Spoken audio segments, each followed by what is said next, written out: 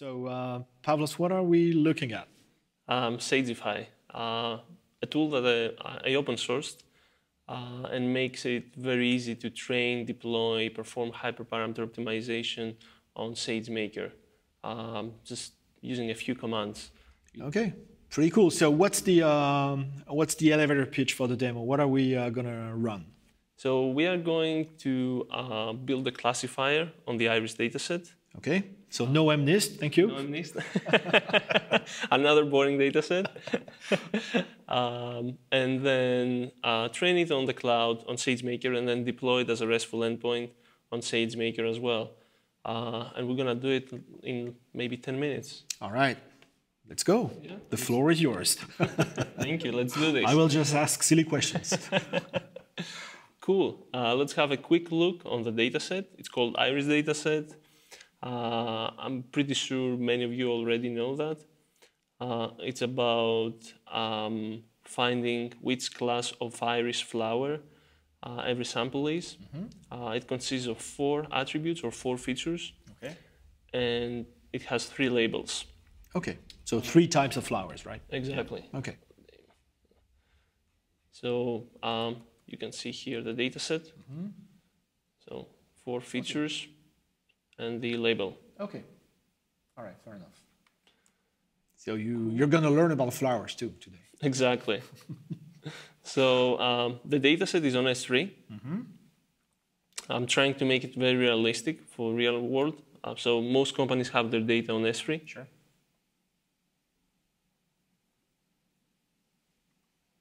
So it's under Sagify demo, and here is the iris okay. data. Okay.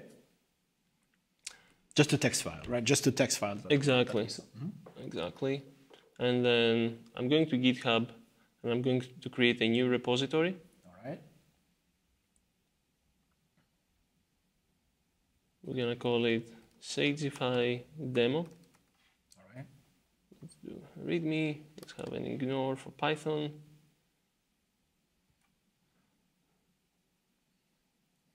That's it. Mm -hmm. Let's clone it.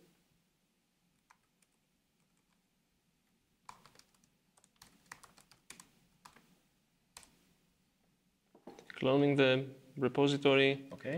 Getting into the repository. And then I, we need to create a, a, virtual environment as well as in Python projects. Sure. I usually I usually use Con Anaconda. Mm -hmm. um, so it's Conda create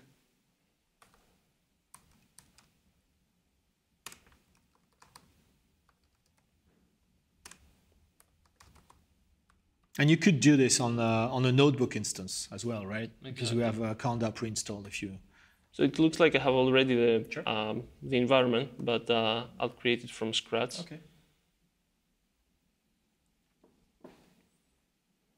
Yeah, if you're not familiar with Conda, it's basically a, a, a Python package manager and you can just simply create different environments. So let's say if you want to have a, a self-contained environment for, let's say, TensorFlow, you can build that. And if you want MXNet or another TensorFlow version, you can isolate your environments and avoid doing what I've done on countless occasions, which is work with a single Python environment and, and destroy it uh, because you upgrade a package that doesn't work and you break dependencies everywhere and you have to install everything from scratch. So uh, you, know, you guys are smarter than me and you use Conda now, right? exactly. So I created the environment. We're going to yeah. activate it. Mm -hmm. Let's clean okay. our terminal. And then we have to install the dependencies.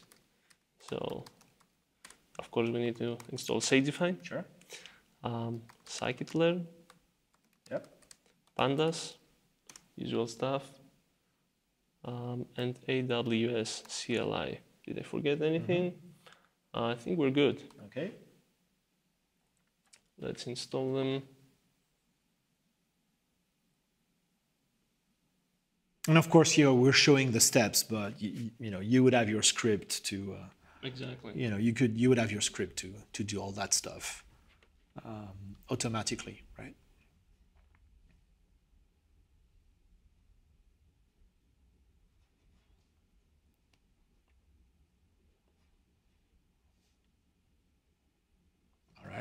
Almost there.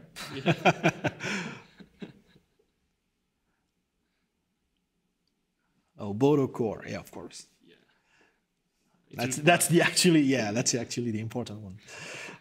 It's required for the AWS CLI. Yeah. Almost.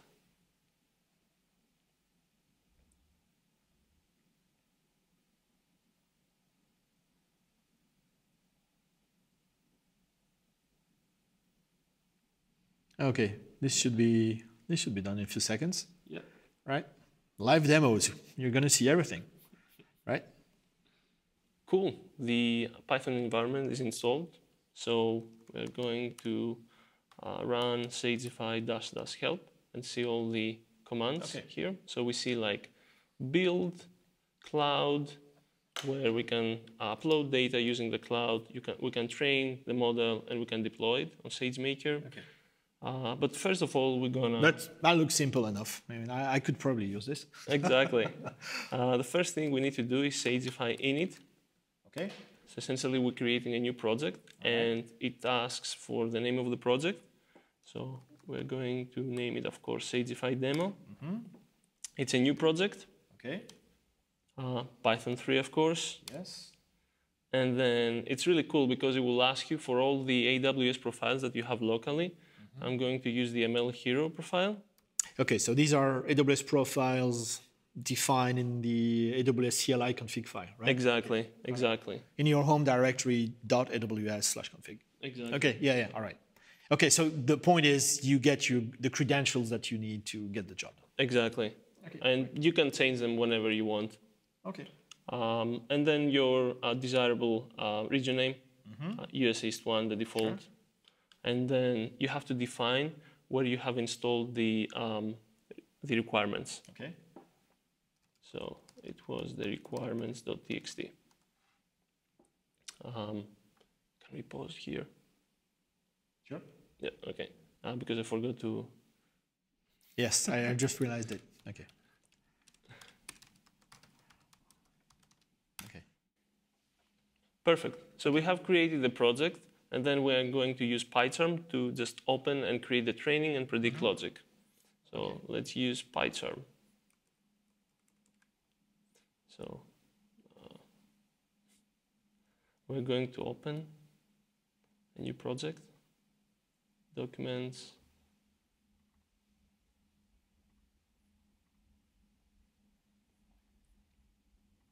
Okay. Here we are. So it has created a source directory. Mm-hmm.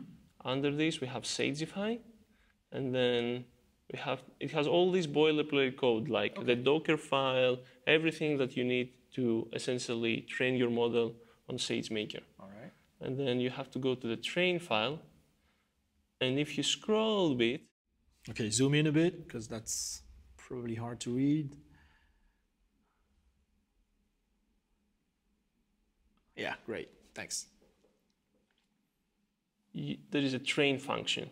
Okay. And then you have input data path. This is where your training data will live. Mm-hmm. This is where you're going to save your model. Okay.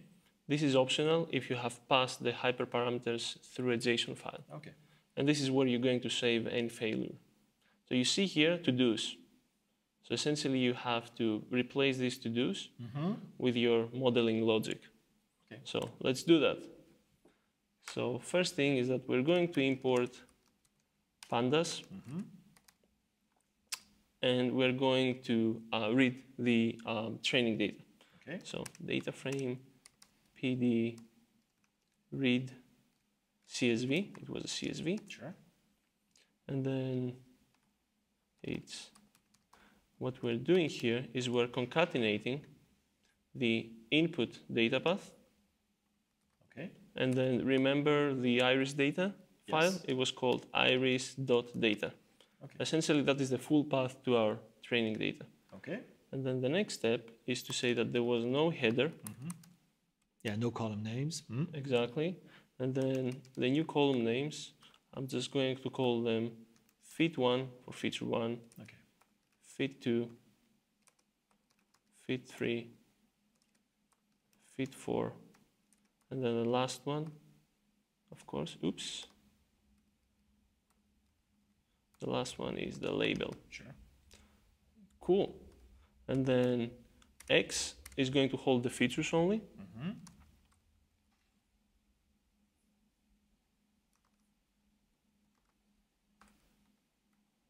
We need one more bracket. Y is going to hold only the labels. Okay. And we do dot values to essentially get the uh, NumPy array. Sure. Okay, almost done. So then it's a good practice to train the dataset into train and test dataset. So from scikit-learn dot model selection, we import train test split. Mm-hmm. Yeah, that's a good one to know. And uh, also we are going, before we're going to the modeling side, let's split the data. I forgot that. uh, so, so train, test, split, and we give the x, y, then it's the test size. Uh, so 30% of the data will be used as a test data set. And then uh, it's a good practice to use the random state. Yeah, to uh, to avoid splitting in the same way all the time. Yeah. Exactly. And then we're going to use support vector machines. It was a big thing 15 years ago. yeah, it still works. um, so So while Pavlos is doing that, so here we're you know we're kind of skipping steps in the sense that, um, of course, you would probably write and, and experiment this code in uh, on, Jupyter in a notebook, either locally or a notebook instance with a uh, a fraction of the data set. Here it's obviously a very small data set, but imagine you have you know 100 gigabytes of data. Maybe you would grab uh, one gigabyte, you know, write this code, make it work, uh, and then train it on SageMaker to scale, right? So uh, if you're new to machine learning, we would actually probably write this code first, debug it, test it on a subset of the data set, and then once we're happy that it works, we want to train at full scale, and we would just integrate our working code into this, right? Exactly. That's probably what you do, right? Exactly. Okay, yeah. Good. that's the process. so these two lines, and we just trained an SVM. So simple. Okay, yeah, yeah. Scikit-learn is, is brilliant. All the math is hidden. Mm-hmm. So then we are going to evaluate that. In order to evaluate, so we have to essentially make predictions on the test data set.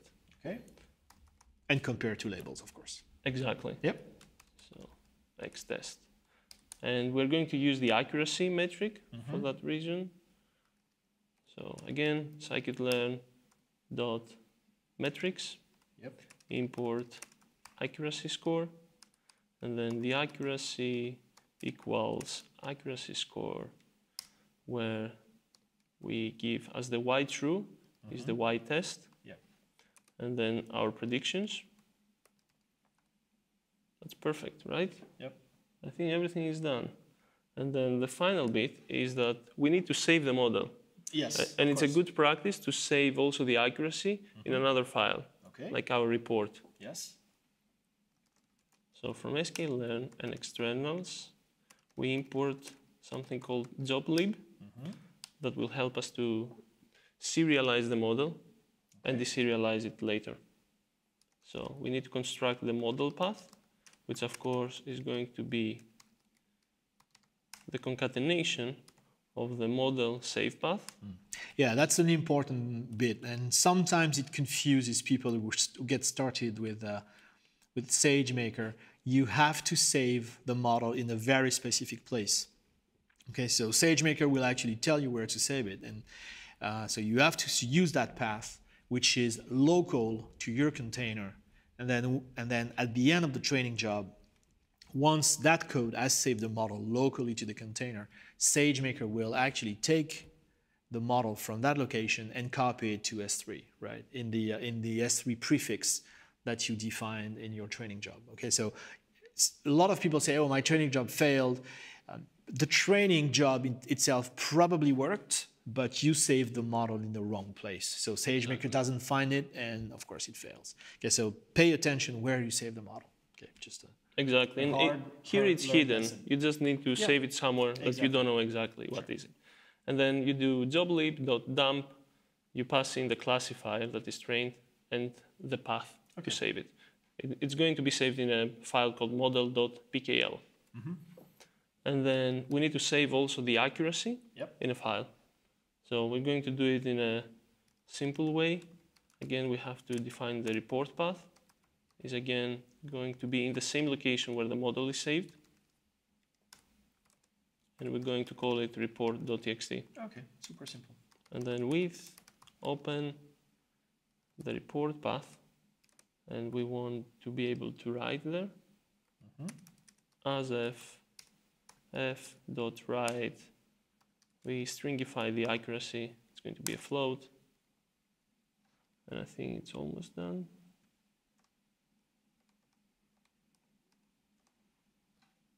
We can we have the usual indentation problem in Python. Tabs or spaces? We'd need a full conference on that one. It's reformatted. Okay. All right. Cool. Perfect. Okay, so we're, we're ready, right? Yeah, exactly. So loaded the data set, split it, um, trained, support virtual machines, and scored, and saved the model and the score, pretty much. Exactly. Yep. That's it. Okay. Um, so let's go in. And if you're not familiar with sklearn, uh, we had a session today on that. Okay, so uh, yeah, so uh, I'm looking at uh, sklearn and, and typical algo. So uh, go watch that one, and then you'll understand everything in there. That's perfect. cool. Cool stuff. Um, so then what we need to do is do Sagify build. So let me guess. Yeah, it's building the container based on the, the boilerplate code and the code we added. Right? Exactly. Okay. Exactly. So it will take some minutes. So yeah, the Docker image is built. All right. Uh, so now we are ready to train the model on the cloud. Let's go. So it's really easy. It's Sagify, cloud, train. And then you have to specify where on S3 the data lives. So it's S3, Sagify, demo. That's it. Okay. And then we have to specify where exactly to save the model and the Okay. report.txt file. So it's going to be in the same bucket, but under output. All right. And then we have to specify the EC2 type. Okay. And it's going to be, I don't know, just randomly chosen ML M5 large. Probably it's too big for that task. Okay. Do you support uh, spot instances? Uh, I think they're supported now, but oh, they uh, are. Oh, they are in SageMaker. But does the tool allow for that? Uh, no, no, at the Okay, moment. so pull Yeah, requests. Pull request. I'm waiting for that. Dash dash spot. Okay. Or dash dash enable spot. All right. Pull request, please. That would be really nice. it will save me a lot of money. All right. Here we go. That's it. So here it says no IAM role provided. It's okay. Uh, it uses the one that we used in the beginning, the ML Hero. Uh, but if, let's say, you have changed the profile, uh, you can pass in one here, a different one. It's, uh, it's a completely dynamic. And we get the logs here, so it's starting the training job. So if we go to the AWS console,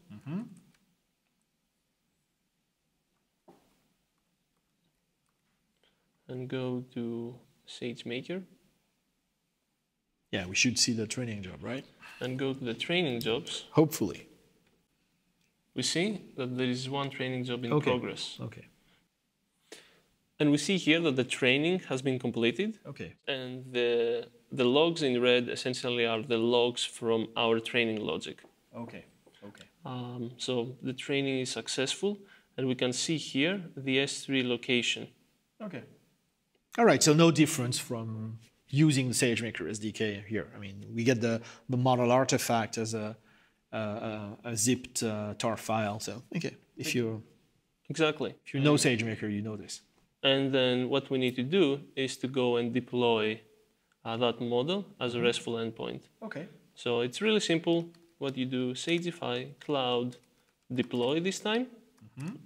And of course, you have to specify the S3 model location. Okay.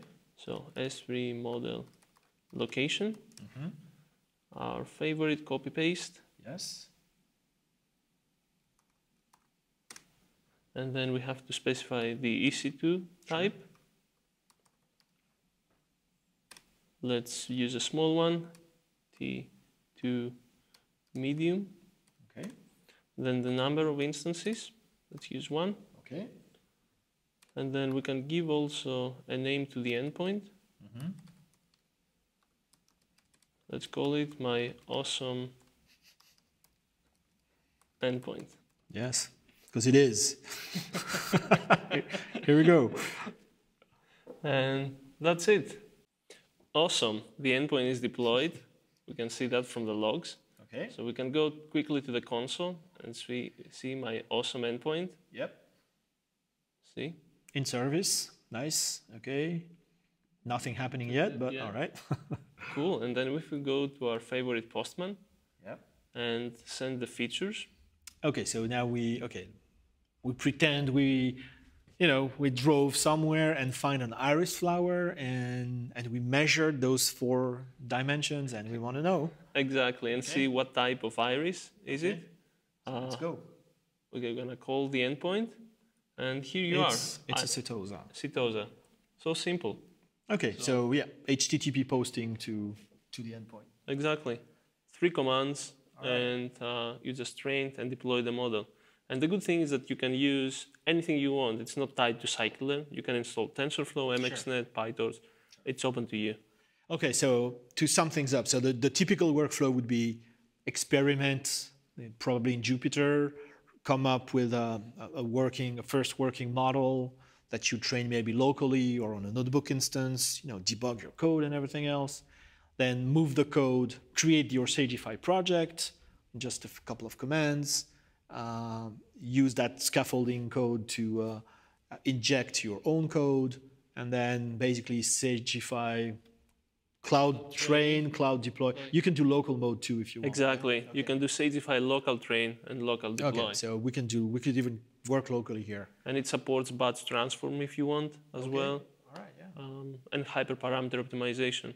Okay, so yeah, you've got good coverage, right? So uh, if you if you find the SageMaker SDK that we've seen today is still a little too uh, uh, low level for you, or too verbose or whatever, um, or if you just want to work with this great tool, then this is it, right? This couldn't be simpler, honestly, right? Exactly. Yeah, yeah. super simple CLI for SageMaker.